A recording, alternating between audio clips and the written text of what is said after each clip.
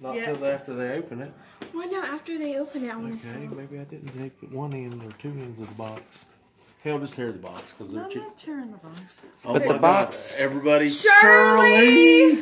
Shirley! What? Because we keep the box? Yeah. Is that it? I was 15 years old and there's boxes from when I was two. True. I understand that. I don't. Well, it used to be All right. boxes were expensive. oh, here we go. Yeah.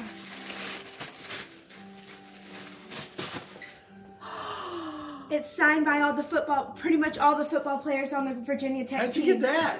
We have a friend who plays for the team. His name is Cole. Are you kidding me? No, it's. We think- got I connections. think. I think actually Coach Fuente. I think Coach Fuente I think signed it. Fuente signed it too. He said there might be two or three on there. Get out of here, guys. That's awesome, man.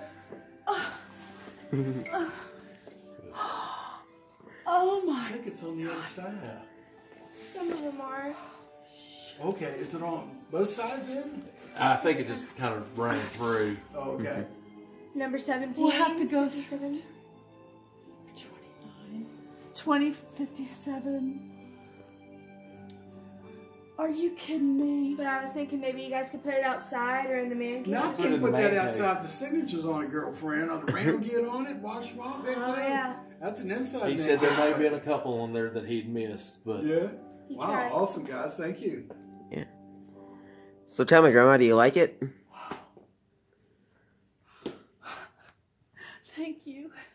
That is so cool. Yes, nice. I'm thrilled. I am thrilled. I'm happy you Our, guys like it. our um, dental hygienist Jan, Mhm. her husband was part of the um, volleyball women's volleyball team, and she has all the posters where you lay up on the chair, yeah. And she has the volleyball posters on the thing, and they all signed it for her son. And I thought that was really cool, but but man, that's that right there. yeah, I think that yeah, that's cold. yeah, I think that's cold. Kind of hard to read them. we'll get them. We'll get them all. We'll mm-hmm. figure them all out. I'm glad you like it. Oh my God.